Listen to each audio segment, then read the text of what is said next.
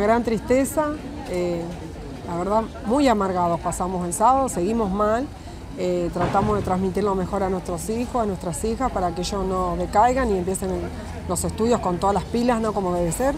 Eh, nosotros vamos a seguir la lucha.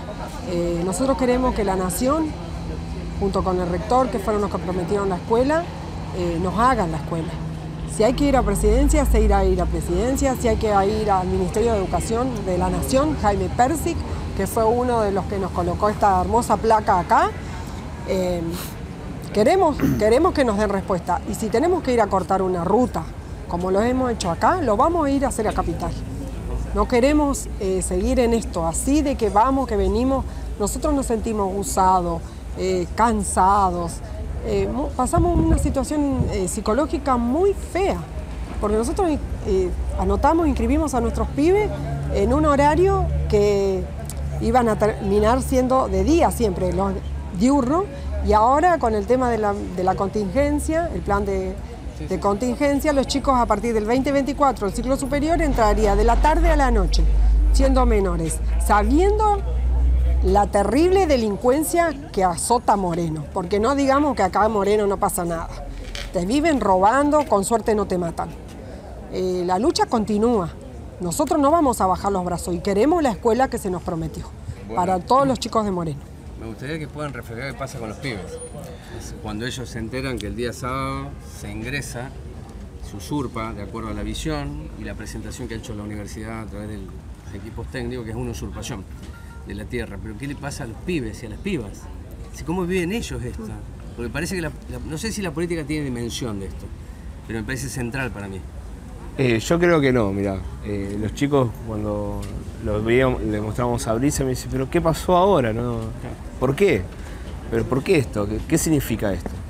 Y explicarle esto que justamente estamos en, el 40 aniversario de democracia y, y la democracia dónde está justamente el derecho donde está, el derecho de, libertad, el derecho de poder seguir adelante algo honesto.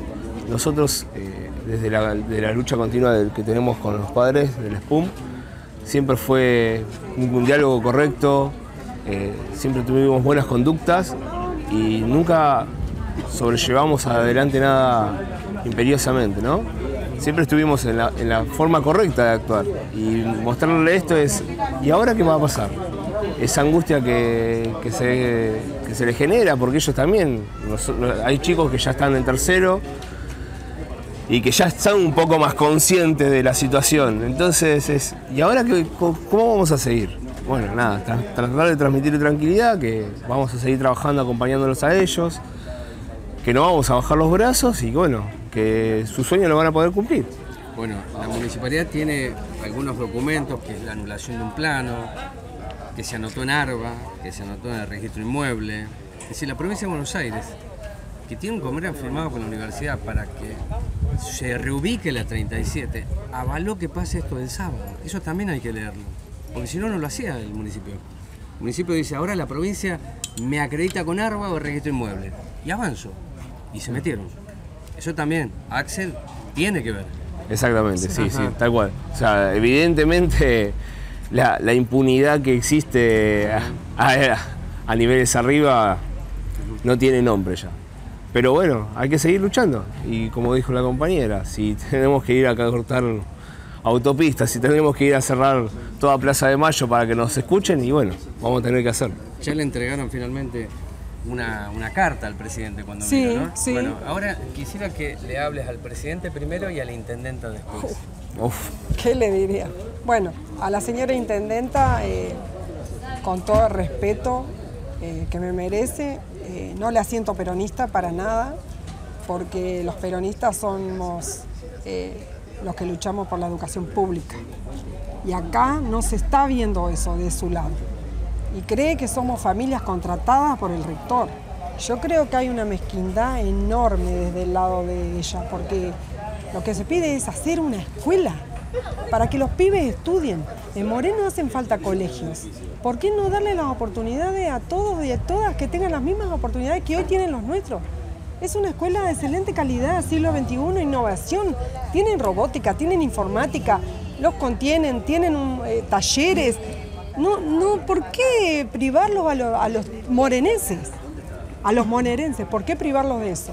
Y al señor presidente de la nación que me dijo que él gobernaba un año más, que me quedara tranquila, que la escuela me la hacía él, a lo cual yo le dije que yo no quería que me haga la escuela porque los fondos, habíamos tenido varias reuniones con el rector y nos dijo que el dinero estaba para hacer la escuela.